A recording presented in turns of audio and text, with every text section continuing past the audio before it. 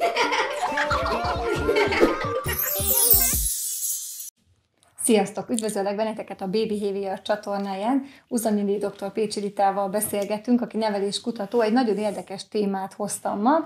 Ez pedig nem más, mint a személyiségcsírák, vagy, vagy mondhatnám ezt is, hogy örökölt képességek. Ez a gyerek már eleve születésekor zseni volt, fantasztikusan tud hegedülni, de még hegedűt nem fogott, a másik pedig már születésétől kezdve örökölte apja úszás tehetségét, és innestől kezdve élsportoló lesz, ha akarja, ha nem. Valóban így van, tehát örököltünk valamit, hozunk a szüleinktől, nagyszüleinktől, dédnagyszüleinktől, nem tudom honnan, és annak hatodik haszakad azt kell végigvinni. Hogy, hogy is néz ez ki hmm. pontosan? Hát valóban öröklünk dolgokat, sok mindent öröklünk, de nem annyit, amennyit gondolunk. Tehát egyáltalán nem olyan nagy mértékű ez a bizonyos öröklő tulajdonság halmaz az emberben, mint ahogy gondoltuk, hogy ó, hát ezzel nem is kell csinálni semmit, és hogy ez majd úgyis kibontakozik, már látszik, hát, hogy ja, igen. Sokszor volt olyan, tehát sok évtizeden keresztül gondolták azt, hogy alig nevelhető az ember, mert annyi mindent öröklünk. Ugye nem csak ilyen csupa jó tulajdonságokat, hanem hát ezt, azt, mást is és hogy hát hiszen nem tudjuk az embert nevelni, mert hát hetediziglen belénk van írva ez meg az. Most az a helyzet, hogy ez egy olyan 20-30 százaléknál nem 20, több. 30 Nagyon ki, tehát ahhoz képest nagyon kicsi.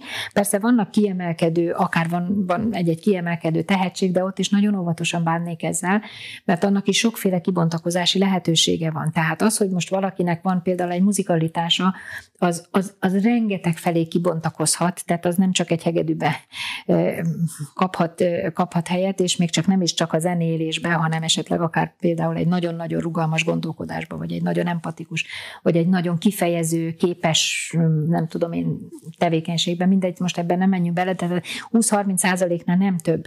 És ez a 20-30 százalék is nem, ne úgy képzeljük el, mint egy ilyen, ilyen, ilyen betonba vert simpája, hogy az aztán csak arra felé mehet, hanem, hanem annak még az iránya is változhat. Tehát ez egy nagyon érdekes jelenség maga maga az öröklött, vagy a tehetség, vagy az adottságoknak a halmaza, hogy ez a, ez, de a 20-30 százalékban úgy képzeljük el, hogy abban benne van az arcvonásom, abban benne van a hangszínem, a, hang, a, a, a vérmérsékletem, az új lenyomatom, az az egyedi. Tehát az, összesen 20-30 százalék, tehát összesen. amikor megláttam a gyereket, és azt mondom, hogy ez kiköpött szeme olyan, igen. mint az apjái, a füle, mint a nagyanyjái. Így van, mindenféle van benne, igen. És akkor a maradék még X, igen. az, a, az igen. a tehetség. Mondjuk, igen, igen, és van, igen, vannak benne ilyen csírák. Na most amikor azt mondjuk, hogy ez nem automatikusan bontakozik ki, akkor már gondolhatunk is arra, hogy hát jó, lehet, hogy valakinek nagyon érzékeny például a hallása, de hogyha például, sokszor hozom ezt a példát, mert saját magam láttam, hogyha mínusz öt percet fog gyakorolni azon a hangszeren, akkor abból sose lesz zenész, akármennyire nagy tehetség. Nekem van egy ilyen fiam, tényleg igazából azt mondhatom, hogy tényleg ragyogó adottságokat örökölt muzikalitásban és mindenben, de az tényleg nem nagyon pakolta ki a csellót, amikor ment a csellórára, és nem is lett belőle zenész, nagyon, nagyon szívesen foglalkozik zenével, meg kórusba járt ide-oda, de, de nem lett zenész, de nyilvánvaló, de lehetett volna, tehát én zenetanár vagyok, látom, tehát lehetett volna belőle zenész. De ugyanígy azt mondjuk, hogy, vagy például, hogyha valakinek nagyon jó a mozgása, hát abból nem lesz mindenképpen atléta, mert lehet, hogy olyan lusta, mint a föld, és utál izzadni, és abból biztos, hogy nem lesz atléta. Pedig nagyon-nagyon nagy adottságai lehetett volna. Aki mondjuk megtolja a gyereket, mert azt mondja, hogy én látom, hogy ő ebben, hú, de tehetséges lenne, és akkor mondjuk heti 5, 7, 8, 10 edzőóra. Azért ezt nagyon, nagyon vegyük figyelembe, hogy az a, az a valami csoda, az a kicsi kis valami csíra, ami mondjuk például egy, nem lehet, hogy jó atléta lenne, az másfelé is ki tud bontakozni, ahhoz még nagyon sok minden kell. És hogyha, hogyha ez nincsen benne, vagy akkor ez egy maximális megerőszakolása ennek a kicsi csírának, és az lehetséges, hogy 20-30-40 évesen fog majd visszaköszönni, hogy egész életében valahogy arra ment, ami nem az övé. Tehát volt benne tehetségcsíra, de az összes többi, ami ennek a kifejlesztéséhez kellett, az nem volt benne, az az, az anyukájába volt benne, mert az akarta rátolni. És ez egy, ez egy, azt lehet mondani, hogy egy boldogtalan teljesítő lesz. Tehát lehet, hogy kipréselünk belőle valamit, de kinek a, tehát hogy de nem lehet az egy szülő érdeke, hogy ugyan jó teljesítményt érjen el, de a boldogtalansága árán. És én nem egyet, és nem kettőt, és nem ötöt láttam, amely 20-30 és ugye az a baj, rá. hogy azért a, a gyerek ilyenkor a, tül, a szülőnek szeretne megfelelni, mert hát Persze, azért mi gyerekek, gyerekek ilyenek vagyunk. De akkor hol vegyük észre? Tehát mondjuk segítünk ezeknek a szülőknek is, hogy én azt mondom, hogy jaj, te nagyon tehetséges vagy, tehát a gyereket is belelovallom esetleg ebbe, mutassak meg minél több Igen. sportot, és minél Akár. több mindent. Igen. És ha semmit nem csinált, hogy rengetegszer halljuk, ha nem csinál valamit versenyszerűen, az a gyerek, kitartása nem lesz. Ne, Tehát oh. mi van akkor, hogyha mondjuk fél évig jár, nem tudom, zongorázni, aztán a következő fél évben megbeszéljük, hogy fél évente válthatsz, fél évig, nem tudom, lovagol, következő fél évig. A, valóban nem lesz kitartása? Gyerekkorban még ez a, tehát nagyon, nagyon ez nem jó irányban alakult ez a fajta egysíkú tehetségkibontás, vagy, vagy, vagy, vagy teljesítmény kibontás a, a, a gyerekekben. Úgy tudnék, mindenkiben többféle, többféle adottság, és többféle tehetség, és többféle lehetőség rejlik és lehetséges, hogy a szülő jól látta meg azt, hogy mondjuk ezen a területen eléggé kiváló, de még jöhetnek másikak is. Tehát egy, erre szoktuk azt mondani, hogy, hogy egy, egy, egy egy gazdag világú, viszonylag nyugodtabb tempójú és egy szélesebb körű gyerekkora legyen. Tehát a gyerekkor az nem a teljesítésnek a kora. A gyerekkor a felfedezés kora, úgy minden tekintetben. És lesz kitartása, tehát nyilván nem engedjük el, elhagyni, de fogjuk is érezni, hogy, hogy melyik területen tesz bele többet, melyik területen amikor élvezi magát, igen, otthon. És ott is lesznek persze hullámok, és akkor kell segíteni azt, hogy azért nem engedjük el rögtön. De, de ez a fajta megerőszakolása a teljesítésnek, és még, még, és mindent kicsavarni belőle, ez, ez biztos, hogy, hogy kimerítheti, tehát bizony óvodáskori kiégésről is beszélünk már. Igen, ezt akartam kérdezni, ugye nagyon sokszor azt látjuk már óvodáskorban elindul az, hogy három-négy féle sportra, nem. vagy egyre, de akkor az nem. aztán heti hét alkalommal Jaj, megy a gyerek. Tehát, hogy, hogy hol tartsuk meg ezt a középutat? Tehát fél évente mondjuk mondhatok olyat a gyereknek, hogy kicsim, szeretnéd kipróbálni, mert a Juliska is jár, rendben van, te is próbáld ki, fél évig, vagy három hónapig, és ha tetszik, folytatod, ha nem, nem. Igen, vagy, vagy mégis milyen? Se óvodáskorban, tehát az óvodáskor a szabadjáték ideje. Tehát, Mikor kezdjük el?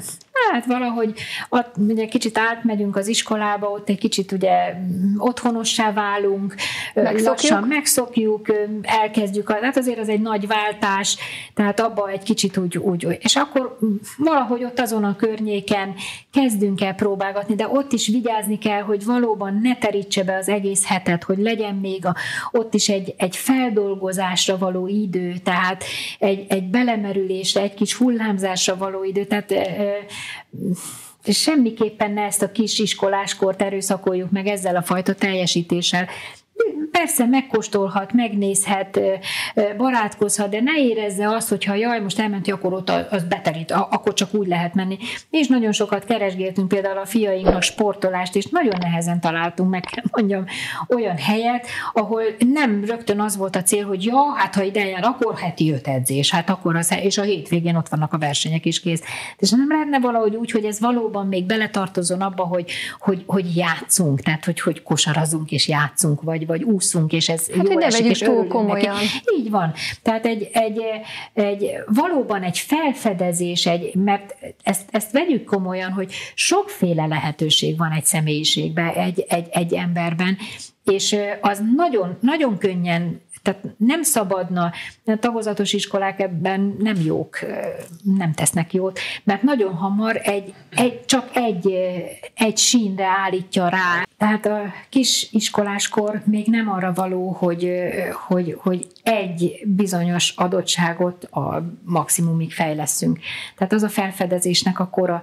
És itt tényleg a tagozatos iskolákkal óvatosan kellene bánni, mert hogyha arra való egy tagozat, mondjuk egy zenetagozat, hogy sokszor találkozzon zenével, akkor azt mondom, hogy megfelelő, mert amúgy is kicsit, kicsit szűkre van szakva az iskolai tervekben a, a művészettel való, tehát az érzelmi intelligenciával való foglalkozás. De hogyha arra állítja rá, hogy ebből egy zenész legyen, vagy egy ilyen speciális területet forszíroz folyamatosan, akkor nem nyerünk vele, mert előfordulhat az, hogy például ügyes volt, ugyan most maradjunk a hegedűben, mondjuk ahogy az elején, ügyes volt a hegedülésben, de később még kiderülhet, hogy, hogy három, négy, öt, hat másikban is ügyes, és, és lehetséges, hogy az egész fiatal korát rátette egy hangszertanulásra, és ő soha nem lesz például egy szólista, mert a mert, mert lehet, hogy annyira nem tehetséges, mint, egy, mint ami, ami kell egy szólistának. De akkor már hat órákat gyakorolt addigra, meg hét órákat gyakorolt, de más nem csináltott, kimaradtak dolgok. És akkor ott van egy valami, ami nem az övé, ami annyira nem az igaz, hogy volt benne tehetsége, de a többieket mihez kezd?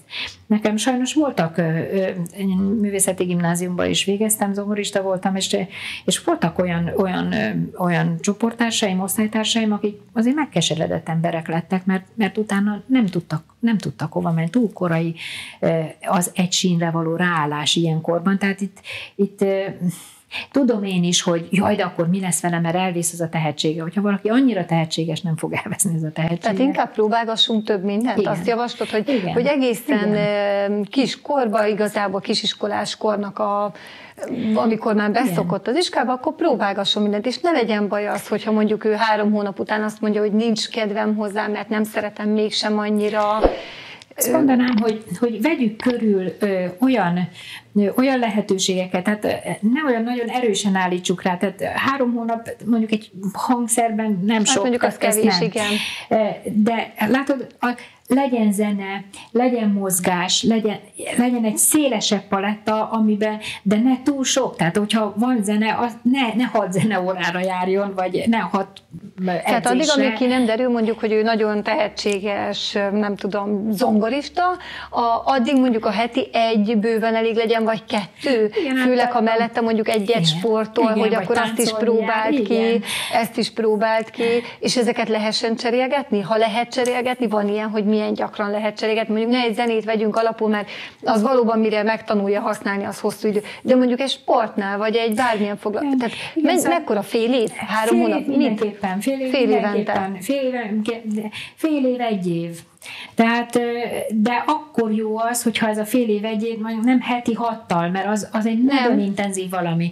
Tehát, hogyha ha valami olyan, olyan mondjam, be, be, tehát integrálható, befogadható mennyiségben egy ismerkedése, egy, egy, egy hozzászokás, de hogy maradjon szabad ideje, maradjon szabad játékra, maradjon barátkozásra, maradjon feldolgozásra. Maradjon ideje a családra, érzelmi intelligencia igen, fejletésre, közös játékra. Ebbe, amennyi ebbe belefér.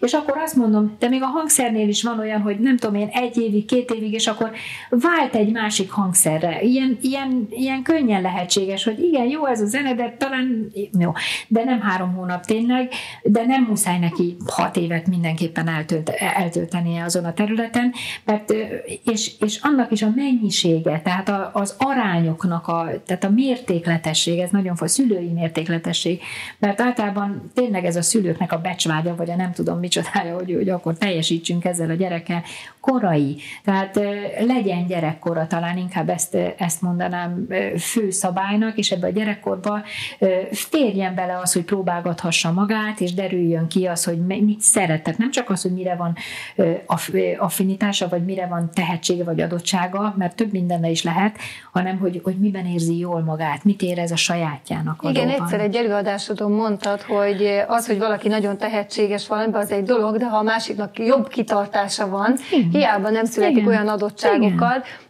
le tudja igazából Igen. körözni, mert ő, ő, ő úgy érezte, és őt akkor energiát tett bele. És ott tudunk a legjobban ö, majd teljesíteni is, ahol ez a kettő találkozik, tehát ahol, ahol szívesen vetjük bele magunkat, ahol, ahol ahová, ahová tényleg a, oda, oda tesszük magunkat, és ez nem biztos, hogy pont az a terület lesz, amit mi szülőként először megláttunk abban a, abban a gyermekben, vagy amit először elkezdtünk nyomni. Tehát itt ezért ezzel óvatosan bánnék. Nagyon szépen köszönjük, röviden összefoglalnám szülők, hogyha lehet első körben én azt ragadtam meg belőle, hogy maradjon gyerek a gyerek.